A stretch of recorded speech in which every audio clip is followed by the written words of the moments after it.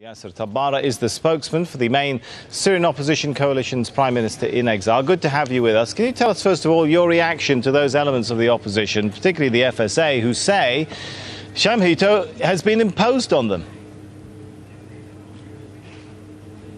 Well, first of all, we need to lay the factual ground. Uh, Mr. Ghassan Hito, since his election by the coalition, uh, has uh, been inside Syria at least three times where he met with a number of uh, fighting factions and uh, the, the, most important representatives, uh, basically, of, of, the fighting battalions under the command of uh, the uh, ch chief uh, of staff, General Salim Idris. And all of these people have reiterated their support to him personally as the elected president of the interim government by the Syrian coalition and their commitment to support his government as it gains its confidence confidence from the coalition and goes through the process. In fact, the uh, Minister of Defense is going to be nominated by uh, these factions uh, and uh, basically approved by Mr. Hito and the coalition. So, factually speaking, when we say that uh, some members of the uh, the fighting opposition aren't in support of Mr. Hito, I think we need to be to qualify that remark and you know face the reality that all the time in the opposition you will not have a 100% unified position. Okay, you may not have a 100% unified that, position, again, but what, what so would be your message to a very important element of the opposition, that's the armed part, the FSA. What would your message back to them who aren't entirely sure of Hisham Hito? These are not the messages, the official messages of the FSA. The official body that uh, the umbrella of the fighting factions on the ground is the military council headed by General Salim Idris.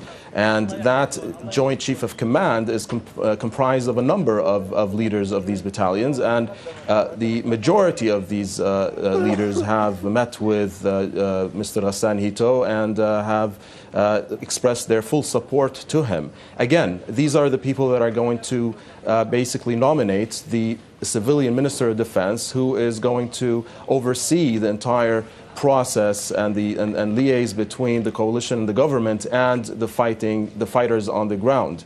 Uh, one of the most important aspects of the visits of Mr. Ghassan Hito and the leadership of the coalition to London and their meeting with uh, Mr. William Hague and Mr. Kerry is to express the direct and unequivocal ask that we need a their help with establishing a no-fly zone that protects uh, the civilians and gives the leverage to those on the ground to actually tip the balance of power with the Assad regime.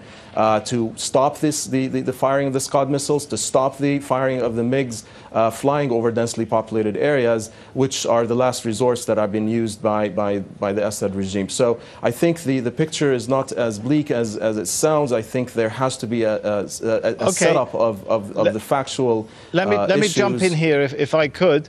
I'm glad you raised the meeting in London. What is your expectation that will come out of that? When you, used euphemisms like the means and, and no-fly fly zones. I, what exactly are you asking for? Are you asking for weapons, and do you think you'll get it?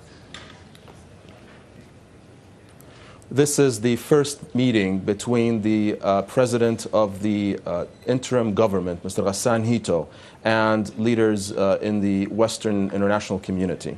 And that the, the main point of that meeting is to demonstrate, uh, first of all, the, the, the unity and the cooperation that is taking place at the level between the coalition and the government that was produced by the coalition, democratically elected, uh, and to uh, start building the, the bridges and the important relationships to ask for the, uh, the specific asks, the specific forms of, of support. And what we have expressed unequivocally to Mr. Hague and, and others uh, that that we've met with uh, today and yesterday was the, the fact that we need them to empower, A, the fighters on the ground with the sophisticated weaponry to enforce a no-fly zone, uh, to uh, perhaps uh, uh, involve the, the, the Patriot missiles that are placed on the, the, the, southern Turkish border in order for that to, to, to provide a cover to the interim government that is going to be operating from the Syrian soil that, that would provide the, the air cover from the, the Scud missiles and the, the, the, the, the aircraft of the Assad regime, and to basically give the, the, the general much needed support to the, the, the uh, military council. Now we have an interim government that is in the making. Within the next few weeks, we will announce the number of ministries, the number of the leaders of these ministries. Uh, okay, very, point, very good, sir. Sorry, because we're running out of time here. If I could jump in again. If will... you don't get that, would anything less than a promise to give you that sophisticated weaponry and the use of Patriot missiles, as you put it, anything less than that, would, would that be a letdown, the international community letting you down? we have uh, focused on the inside of Syria. We have focused on the ground from day one. Mr. Hito keeps saying from day one, as he uh, forms his, his government, his cabinet, one of the most important criteria for those who will work under him in the government uh, are their willingness to work from the ground, from inside Syria. That is gonna, going to be a government for the state of Syria from inside. So our focus, our entire uh, focus is towards working and, and uh, empowering those on the ground. Uh, we believe in, in the ability of, of the fighters on the ground to actually tip the balance of power.